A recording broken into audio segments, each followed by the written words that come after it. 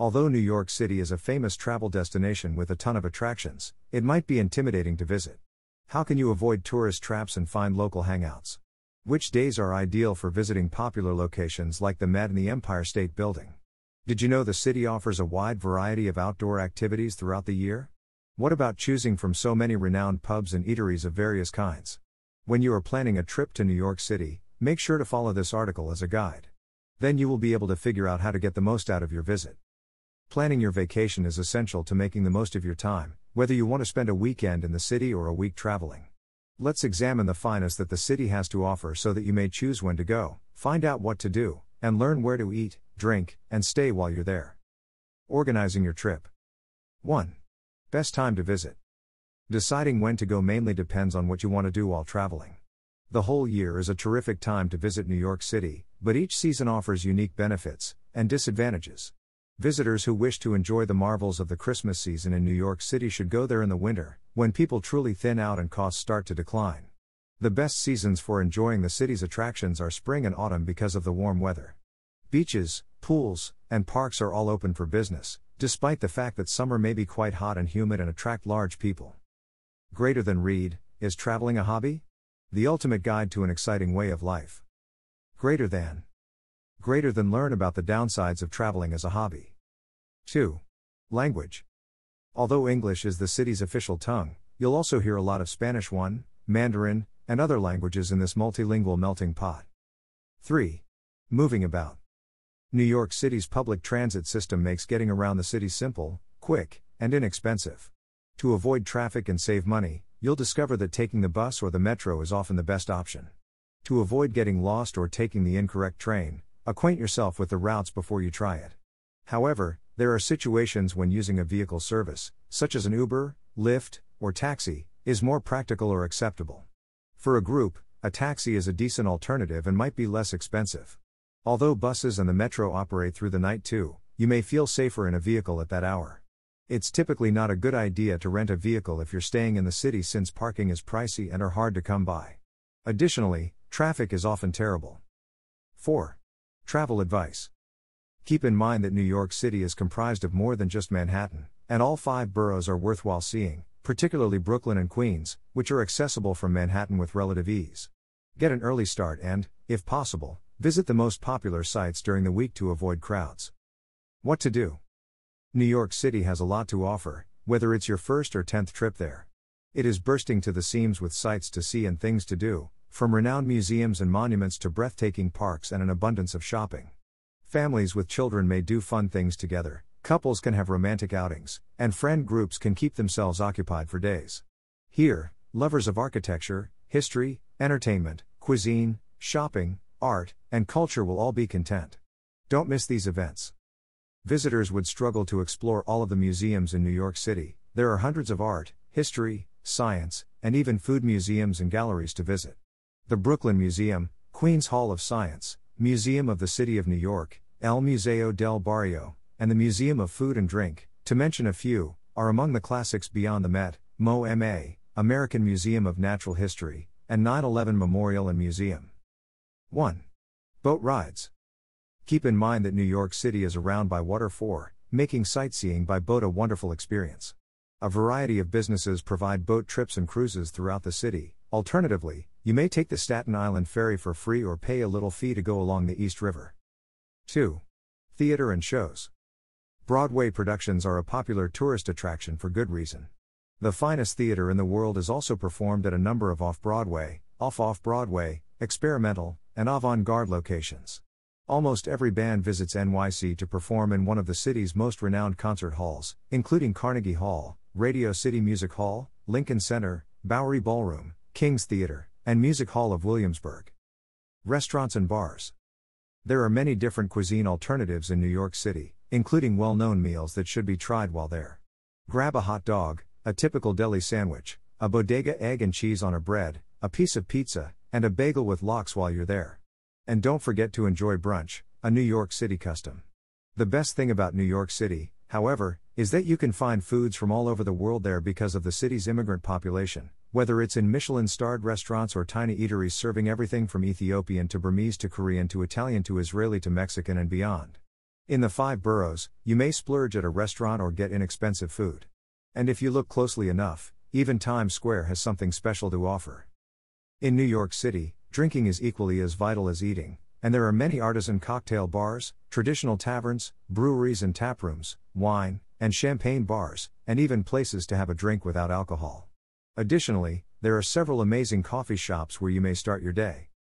Places to stay. Getting a hotel in New York City is simple, but finding the ideal accommodation for you is another matter. Your choice of borough, neighborhood, whether you're traveling alone, with a partner, or with family, and your desired budget will all influence where you stay. The majority of the tourist attractions are located in Midtown Manhattan, which is also one of the priciest neighborhoods to stay in. There are several excellent low cost hotels in Manhattan if you're ready to go north or south. Of course, you should expect to spend more but will be satisfied if you choose to stay someplace with a view of Central Park, close to the nightlife in Chelsea, or in the heart of fashionable Soho.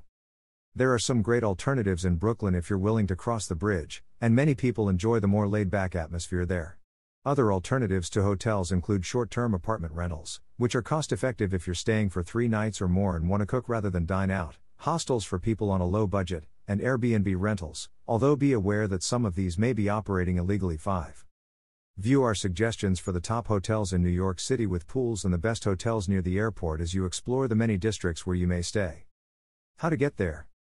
NYC may be reached in a variety of ways, including by plane, train, bus, or automobile. Major airports include Although John F. Kennedy Foreign Airport is the biggest and has the most international flights, navigating its several terminals may be stressful and draining. There are many routes to get there, and it is 16 miles from Midtown Manhattan. The Queens LaGuardia International Airport is now easier to navigate, and recent improvements have substantially enhanced its appearance, use, and amenities. However, compared to JFK and EWR, it offers fewer international travel choices. Additionally, certain airlines, like as Delta and United, utilize the other local airports as their headquarters, resulting in fewer flights from LaGuardia. With 8.5 miles between it and Midtown Manhattan, it is a bit closer and accessible in a number of ways. Midtown Manhattan is 16 miles from Newark Liberty International Airport in Newark, New Jersey, and sometimes flights there may be less expensive, but taxis generally cost more from there to NYC. Since this airport serves as United's hub, practically all of the airline's flights come and leave from here. It also offers a wide range of foreign flights. Penn Station is served by frequent Amtrak trains to other major East Coast cities as well as trains to farther off destinations. The least expensive method is often taking a bus, which the city is served by Greyhound, Megabus, Bolt Bus, and several smaller firms. Of course, there is also the option of driving, but bear in mind that parking may be both costly and challenging. Customs and culture. Locals in New York City adhere to a number of unwritten norms, such as how to stroll on a congested sidewalk, hint, don't stop in the middle of it, subway etiquette, how to hail a taxi, and appropriate bicycle conduct. In New York City, leaving tips for bartenders, wait staff at restaurants, and taxi drivers is expected. New York City is it secure? Visitors often inquire about safety, and in general, it is a safe city 6. However, con artists and robbers are frequently able to identify out of towners, so using common sense is advised. Savings advice In NYC, there are a ton of wonderful free activities, occasions, and destinations to attend, including parks and museums. Numerous museums and attractions offer pay what you wish or even free admission on particular days or periods.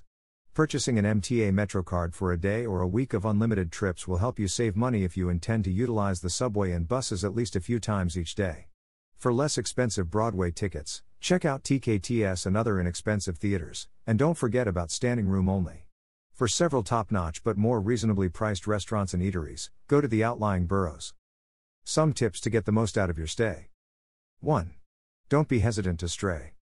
Start telling people that New York is the safest major American metropolis. The days of being advised not to visit the Lower East Side or Alphabet City are long gone. Almost no place in Manhattan is off limits, but it is still an urban environment, so take caution. For instance, you may not want to walk around at 3 a.m. by your lonesome. With relatively few hills and a grid like layout, much of Manhattan is quite simple to navigate, with the exception of a few central districts including the West Village, the Lower East Side, and Battery Park. In fact, roaming the streets and taking in the intriguing people, structures, and sights that appear around every corner is probably going to be one of the highlights of your vacation. 2. Board the A, and B and C, train. The first underground line in New York City opened in 1904, and despite the system's age, the trains are well marked and surprisingly quick, making them a superior alternative to taxis when attempting to traverse the city from east to west or vice versa or while traveling during morning or evening rush hours. The subways do operate around the clock, but if you're traveling alone, you may feel better at ease getting a cab after midnight, even though you'll still see plenty of people using the trains. To determine which subway line will get you to your destination the quickest, try hopstop.com. However, keep in mind that many routes may be rerouted or shut down for maintenance, especially on weekends, so be sure to also check the Metropolitan Transportation Authority's website for the most recent updates. Tip To avoid spending $2 on MetroCards every time you board the train, consider purchasing the 7 day unlimited travel MetroCard. 3. Have supper either early or late. When eating out, New Yorkers like to do it between 8 and 10 p.m. if you want to eat where they do. It's best to make a reservation in advance, at least a week in advance for most places and a full month in advance for favorites that are perpetually booked, like Daniel, Babbo, and Le Bernardin, and to choose an evening between Sunday and Wednesday rather than the consistently busy Thursday through Saturday. However, if you wait until the last minute, consider contacting a day or two in advance and making a reservation for a table for either before 7 p.m. or after 10:30 p.m. This will greatly improve your chances of being seated, even at the trendiest restaurants in town. Naturally, this strategy won't work at the few hip eateries like Momofuku, Boqueria, and Bar Hamon that don't accept bookings in advance. You will need to wait in line there with the other hungry foodies. Final words. Keep these tips in mind when you are planning a trip to New York City.